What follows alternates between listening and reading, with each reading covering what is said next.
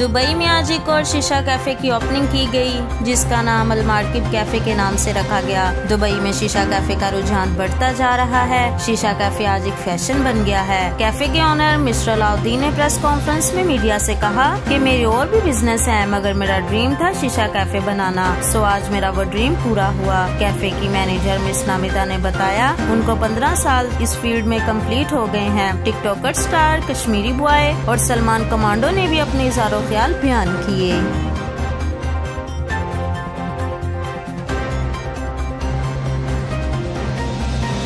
India Pakistan is different. Different culture, different. Uh, uh, when you talking with customer and getting, uh, I feeling, I feeling about me, I feeling India Pakistan is too much easy to understand fast. try my best. Uh, I came here before also. I meet the owner, and he's very nice person. Really, I am impressed from him. We will try your best. I will try to bring my young friends, and uh, we will try to promote him his cafe in the social media also in TikTok. But this is management in my work. Also, I can manage here in cafe also.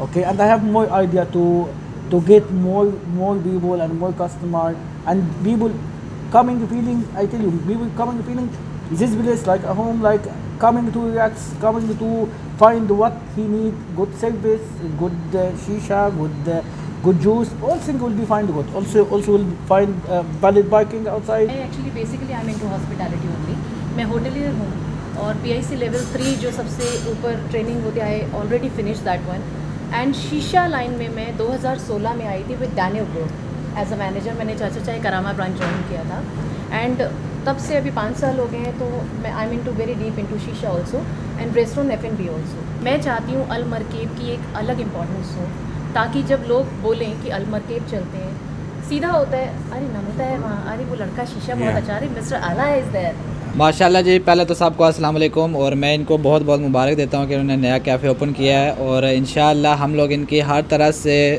Help करेंगे क्योंकि हमारे बहुत अच्छे भाई हैं और इन सब लोग आप यहाँ पे आएँ अच्छा यहाँ पे शीशा है, अच्छी फ़ूड है इनकी तो सब लोग यहाँ पे आए और इन्जॉय कर सकते हैं आप। और बड़ी बात यह है कि इनके पास बहुत बड़ी पार्किंग है जो पीछे इस, इसके बैक साइड पर भी इनके पास पार्किंग है तो वहाँ पर आप गाड़ी भी आराम से पार्क कर सकते हैं। बहुत अच्छे इंसान हैं, ये अरबिक हैं और इन्होंने ये नया कैफ़े खोला खोलने से पहले भी इन लोगों ने हम लोगों से मशवरा लिया था कि क्या करें, कैसे खोलें।